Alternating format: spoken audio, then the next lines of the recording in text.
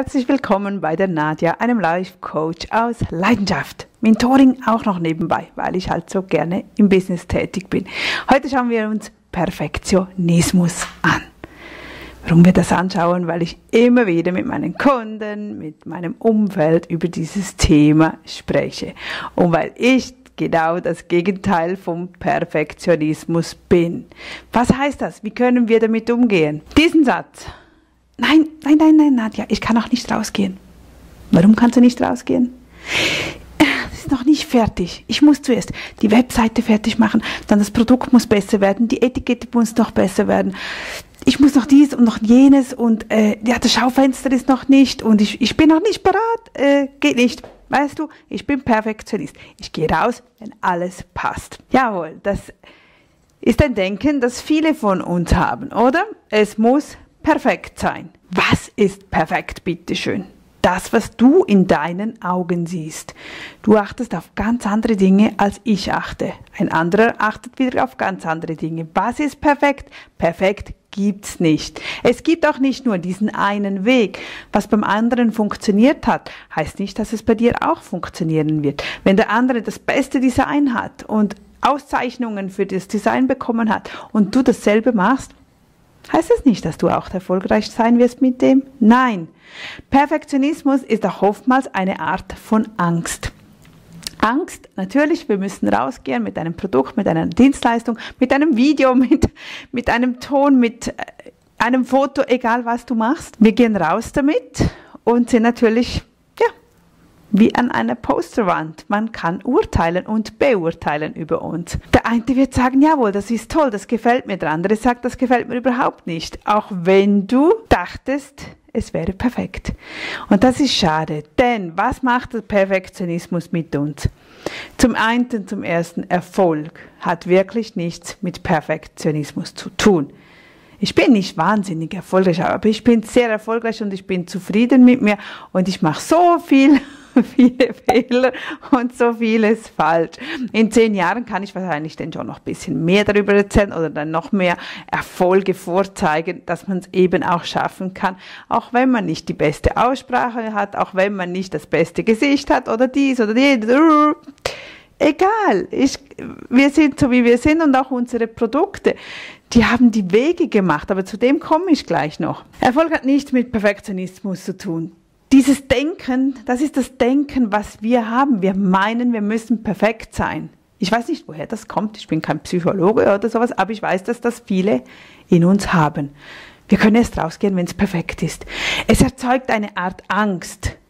Und dieses Denken erzeugt uns Angst, aber es will uns schützen. Es sagt, Nadja, geh noch nicht raus damit. Weißt du, du wirst angegriffen. Es werden Menschen kommen und werden sagen, Nadja, das hast du dir nicht gut überlegt, das hast du falsch gemacht. Wenn wir besser mit dem Denken umgehen können, dann macht uns das Ganze nichts und dann können wir sagen, ja stimmt, daran habe ich gar nicht gedacht. Ich werde das ändern. Oder okay, ist nicht gut, ich werde es löschen oder ich nehme es wieder zurück. Wie machen das die Großhändler? Hm?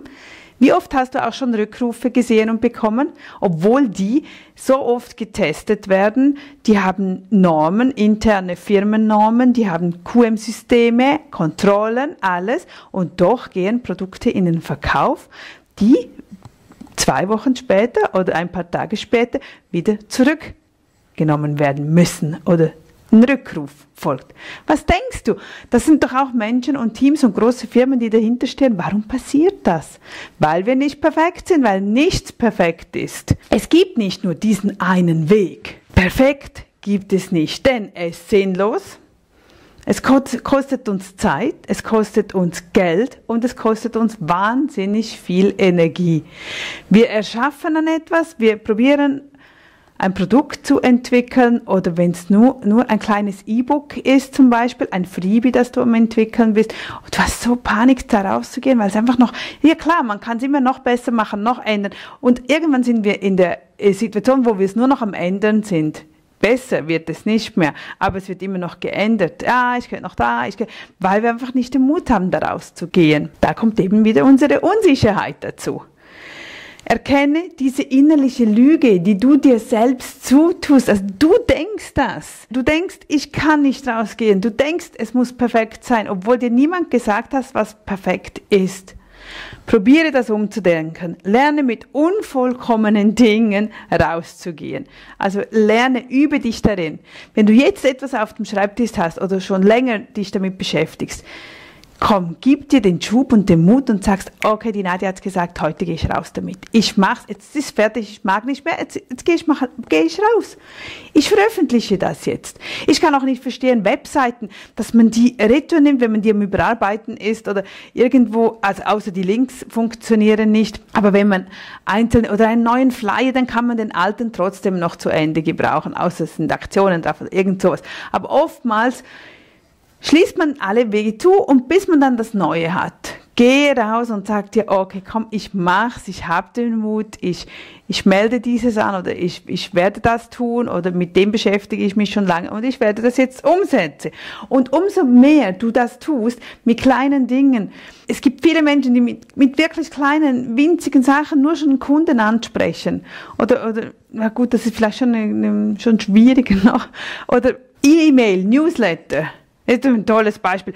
Wie viele gehen nicht raus mit dem Newsletter, weil sie so Angst haben, oh, ich kann das nicht schreiben. Dann, dann schreiben sie, dann kommt ein Test also an sich selbst, dann liest man es, denkt, oh, nein, das geht nicht. Okay, weiter, weiter. Dann ist die Zeit um, Tag ist wieder vorbei. Morgen, morgen hat man vielleicht keine Lust daran, übermorgen wieder daran, wieder schreiben, wieder nicht. Geh raus. Es muss in deiner Stimmung sein, es muss passen, deine Emotion, dein Gefühl, das du hast, wenn du eine Newsletter schreibst zum Beispiel. Das ist enorm. Geh nachher nicht noch fünfmal drüber, Wirklich nicht. Raus damit, auch wenn es Schreibfehler drin hat oder so. Dann geh, dann verlierst du halt diese Leser, die auf Schreibfehler achten. Aber ich glaube, das ist dann sowieso nicht dein Zielpublikum. Also bei mir ist das so. Ich bin der Mensch, der umsetzt, der motiviert. Ich habe Schreibfehler drin. Ich kann die Bücher natürlich nicht, da geht ein Lektorat drüber, aber die Newsletter, weil ich relativ viele, viel schreibe, auch in meiner Facebook-Gruppe, ich, ich liebe das Schreiben. Ich lieb's einfach. Ich kann den ganzen Tag schreiben. Ich weiß nicht, warum ich halt nicht so gut bin in der, in der Grammatik und die, in der Satzherstellung, aber ich bin mit voller Leidenschaft mit dabei und das sagen mir die Leser auch immer wieder. Es, es nimmt mich mit, es packt mich. Und die anderen, die nur die Fehler sehen, das ist nicht das passt ja dann nicht. Also du brauchst ja auch nur deine Leute, deine Menschen, Mitmenschen, dein Umfeld, die so sind, wie du bist. Also wenn du mit etwas Perfektem rausgehst, was nicht mehr du bist, weil du denkst, es muss denn noch ein schöneres Foto sein und noch mehr mit Belichtung und Untergrund und so, aber das bist du nicht mehr, dann bringt es dir am Ende ja auch nichts. Also, großes Thema, ich wollte nur kurz, kurz aufgreifen. Also lerne mit den unvollkommenen Dingen einfach mal rauszugehen. Lerne immer mehr und mehr raus, bis du ein Experte darin bist. Einfach raus, raus. Was macht Apple oder andere Hersteller? Die, die, wie oft müssen wir die Updates machen, die Software-Updates? Was denkst du, warum? Hm, warum? Weil die rausgingen auch ohne den perfekten Software ohne Fehler und nichts. Nein, die gehen raus, dann kommen die ersten Beschwerden und dann heißt, oh, das funktioniert nicht mehr mit diesem Programm und das mit nicht. Und dann beginnen sie sich sofort dahinter zu klemmen und dann zwei, drei Tage später kommt halt wieder ein Update. Dann sind diese Fehler behoben. Hey, auch zu denen gehören wir. Wir sind ja noch, wir sind ja so klein, oder?